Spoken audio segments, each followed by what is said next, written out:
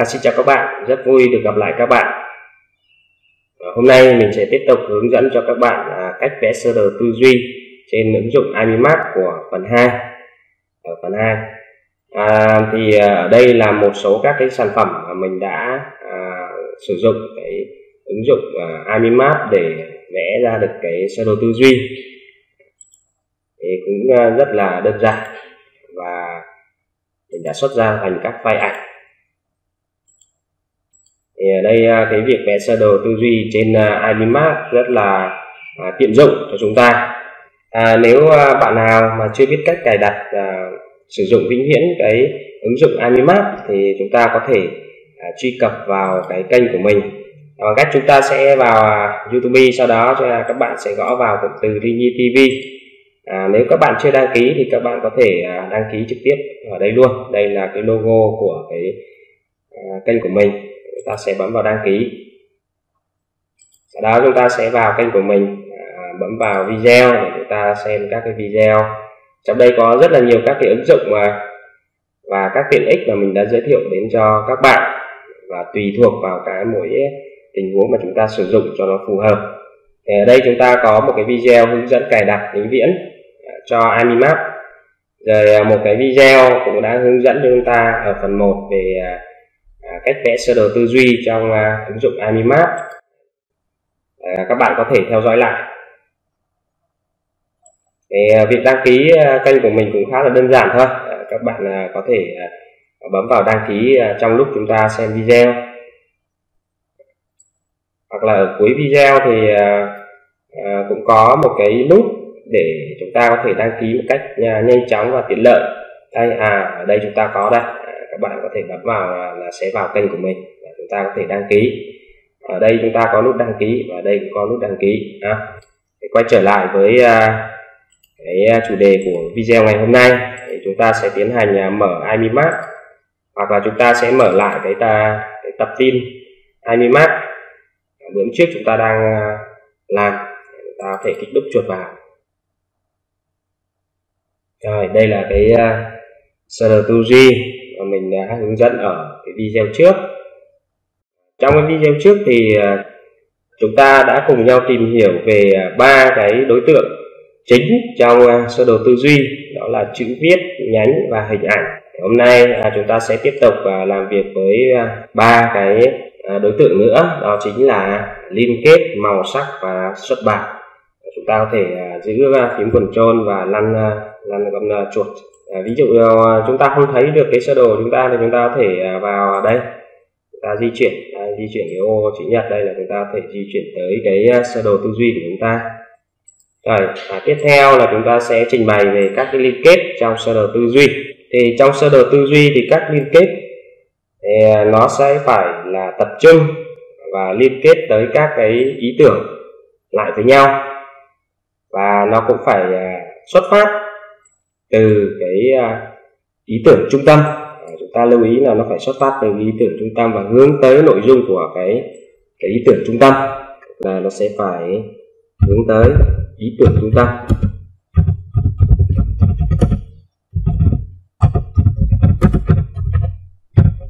Rồi à, đối với các cái liên kết trong sơ đồ tư duy thì nó sẽ không giới hạn, tức là cho phép chúng ta là có thể thêm hoặc bớt rất là nhiều các cái liên kết với nhau. Ở đây chúng ta có thể nói là không giới hạn.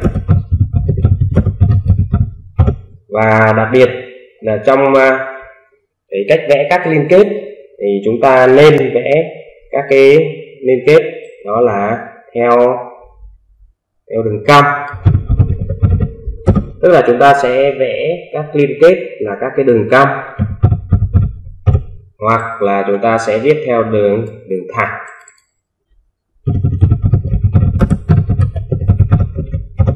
Đối với các cái liên kết ấy, thì người ta khuyên chúng ta nên uh, vẽ nó theo đường cong à, chúng ta chú ý vậy là ở đây mình sẽ lựa chọn icon. À, tức là đối với đường cong thì à, là khuyến khích. Còn nếu chúng ta vẽ theo đường thẳng thì không nên à, tại sao lại chúng ta lại vẽ theo đường cong? À, vẽ theo đường cong thì nó sẽ có lợi ích như thế nào? Tức là nó sẽ có tác dụng đó là đầu tiên đó là nó thẩm mỹ nó có thẩm mỹ. Rồi nó như nào nữa nhỉ? À, nó kích thích sự sáng tạo kích thích tư duy sáng tạo của bộ não. Ở đây chúng ta thấy đó là nó sẽ có kích thích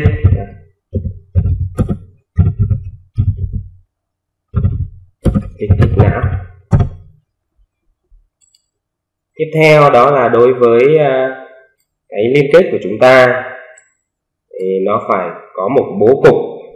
Nó phải có một cái bố cục rõ ràng. Nó phải có bố cục.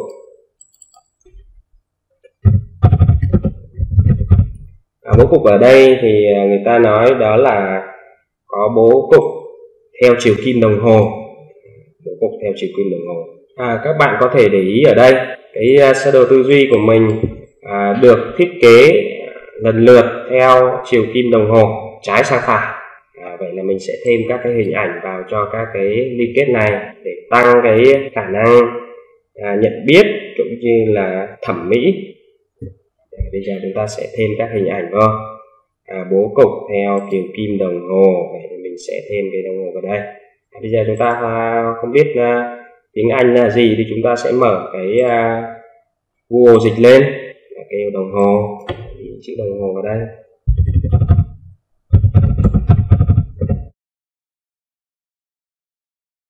Sao chép? À, sao chép? Sau đó mình à, tìm kiếm. À, mình sẽ tìm kiếm bằng hình ảnh. Hình ảnh cái đồng hồ. Ví dụ như đây chẳng hạn. Đây là mình sẽ à, giữ chuột trái. Sau đó chúng ta kéo vào. Thả vào đây. Theo chỉ cái đồng hồ thì bữa trước mình cũng đã hướng dẫn chúng ta thả như nào rồi đó, thả vào cái nhánh này thì nó sẽ liên kết với cái nhánh này. À, chúng ta có thể à, thay đổi kích thước rồi kích thích bộ não.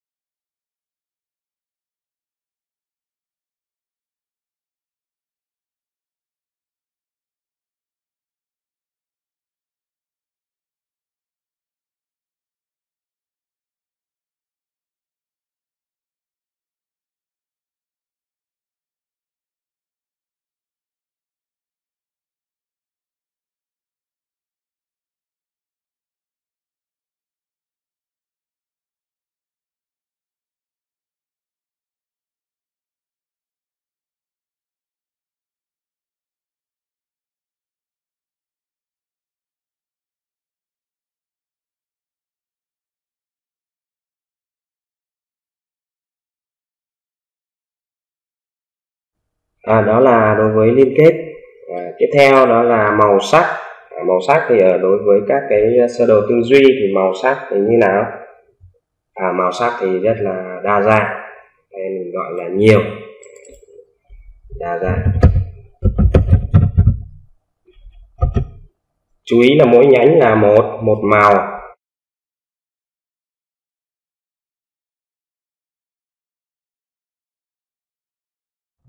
À, chúng ta chú ý ở đây về màu sắc. Thì ở đây chúng ta thấy mỗi nhánh một màu. Ở đây chúng ta có 6 nhánh vì vậy chúng ta có 6 màu ở đây để làm gì? À, để phân biệt à, để kích thích thị giác kích thích não bộ và vân. À, vậy thì à, màu sắc nó có tác dụng đó là à, có công dụng đó là kích thích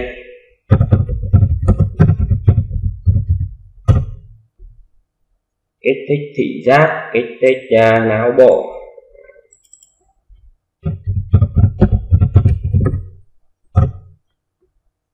Kích thích não bộ.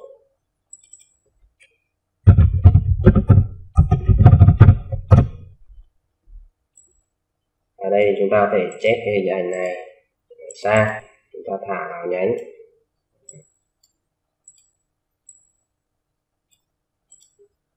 Giác là mắt ạ à, chúng ta sẽ tìm ờ, uh, mắt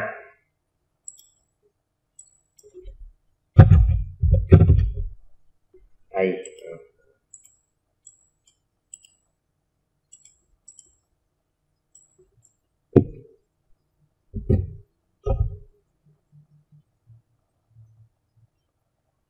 đấy mình có thể ờ, thêm vào. Kích thích thị thì thực ra hình ảnh ở đây chúng ta sẽ thêm vào để cho nó sinh động hơn cái sơ đồ tư duy của chúng ta. À, màu sắc color. Chúng ta sẽ thêm color vào đây.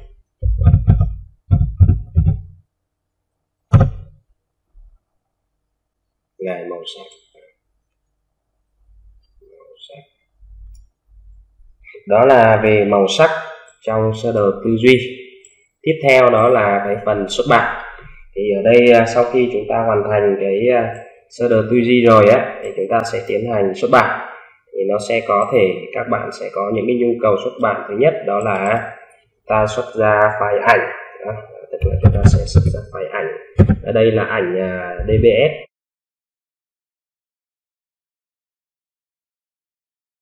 rồi chúng ta sẽ xuất ra à, PowerPoint trình chiếu.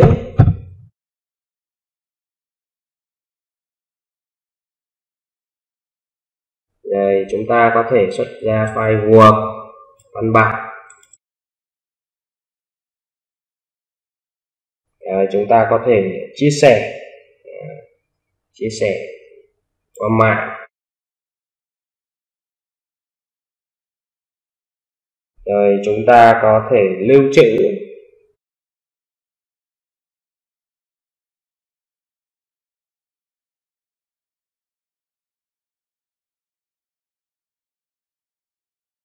ở đây chúng ta có thể à, điều chỉnh à, các cái nhánh làm sao cho nó phù hợp.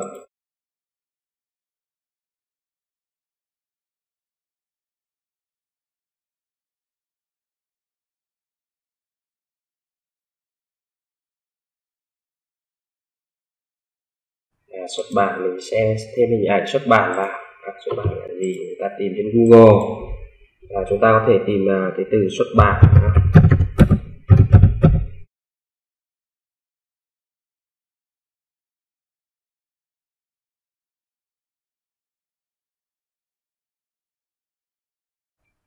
Mình có thể lấy cái ờ, hình ảnh này để minh họa.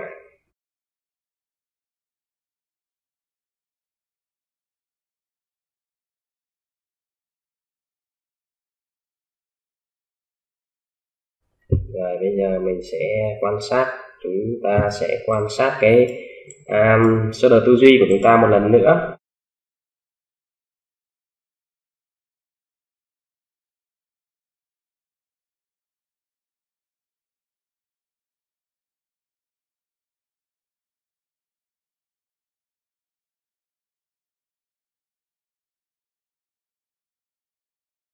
Chúng ta sẽ điều chỉnh một chút để cho nó à, nhìn cho nó đẹp hơn.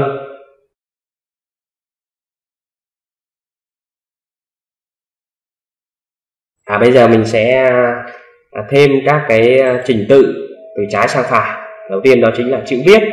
Chữ viết thì mình sẽ cho nó số 1 à đây có number. Ta sẽ kêu một này đó. thứ hai. Thứ ba thứ năm. Ra ở đây thì mình thêm vào để chúng ta nhìn thấy nó uh, đẹp hơn và thấy trình tự của cái việc uh, chúng ta vẽ sơ đồ tư duy theo bố cục là từ trái sang phải. Rồi bây giờ chúng ta sẽ tiến hành uh, xuất bản nó ra uh, bằng ảnh DBS để chúng ta in thì ở đây thực ra thì đối với iMinMap thì cũng có thể in được. Chúng ta có thể vào file và chúng ta chọn print. Có máy in thì chúng ta sẽ cắm vào và bấm print. Ờ, ở đây thì chúng ta có thể xuất ra file ảnh à, bằng cách chúng ta vào file chọn export and share để chúng ta sẽ xuất ra file ảnh. À, chúng ta sẽ chọn hai phim. Bấm export à, và chúng ta sẽ tiến hành lưu trữ ở cái thư mục sơ đồ tư duy. Đây mình sẽ có sơ đồ tư duy một bấm export và chúng ta sẽ chờ một lát để xuất ra file ảnh dpf rồi bây giờ chúng ta sẽ xem. Đây. À đây là cái sơ đồ tư duy chúng ta vừa vẽ và được xuất ra bằng file ảnh dpf à, tiếp theo là chúng ta sẽ à, thể xuất nó ra bằng cái à, file trình chiếu PowerPoint chúng ta tiếp tục vào file chọn export ra. Đấy, chúng ta sẽ vào personal. À chúng ta chọn single emission à, uh, size export.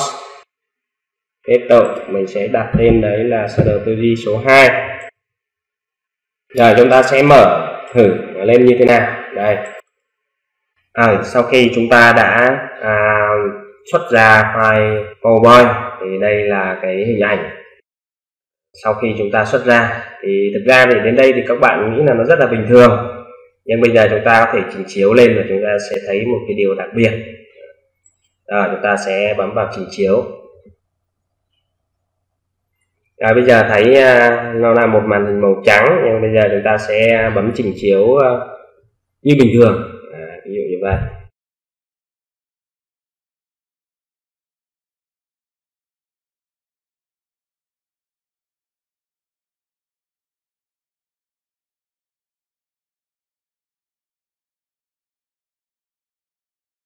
à vậy là chúng ta thấy nó khá là hay. Tức là ở đây các hiệu ứng nó sẽ tự động à, điền vào. À. rất là hay phải không ạ? Và chúng ta có thể sử dụng để thuyết trình.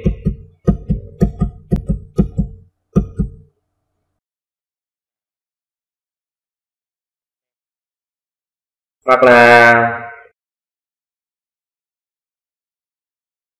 ta có thể trình chiếu trực tiếp ở trong à, trong à, cái imac này luôn. Đây chúng ta vào Passion à, Station. Ở đây chúng ta sẽ đặt tên là sơ đồ tư duy. Ở đây chúng ta có thể trình chiếu ở dạng 2D hoặc là 3D ở đây mình sẽ trình chiếu ở dạng 2D chúng ta bấm create. Này chúng ta sẽ tiến hành trình chiếu. À, các bạn thấy ở đây nó sẽ xuất hiện các slide. Để chúng ta sẽ bấm vào play. Đó. rồi bấm space. À, chúng ta bấm space. Đó, nó trình chiếu. À, và đây chúng ta cũng có thể để à, sử dụng để à, thuyết trình. Đây là dạng 2D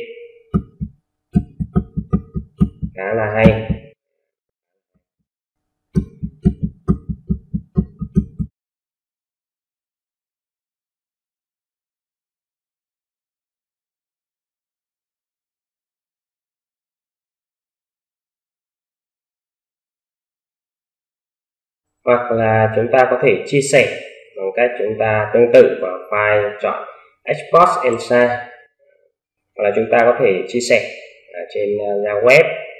À, để chúng ta có thể xuất ra file Excel. Chúng ta có thể xuất ra hình ảnh 3D hoặc là chia sẻ qua các cái ứng dụng mạng xã hội ở đây thì à, các bạn có thể nhìn cái hình ảnh này ở dạng 3D như sau. Chúng ta vào cái nút 3D đây à, home 3D để nó sẽ chuyển sang chế độ 3D cho chúng ta nhìn. Cũng khá là hay khi chúng ta nhìn ở chế độ 3D ở đây chúng ta có một cái nút à, điều khiển. Chúng ta có thể điều khiển, nhìn nó ở chế độ 3D để xoay thì trên đây là những cái trình bày của mình về cách vẽ sơ đồ tư duy ở trên ứng dụng Animap à, nếu các bạn thấy video nó hay và ý nghĩa thì à, các bạn hãy à, đăng ký kênh chia sẻ và nhấn một nút like cho kênh ngày càng phát triển. Thân ái chào tạm biệt các bạn. Hẹn các bạn vào những video sau. Chúc các bạn thành công.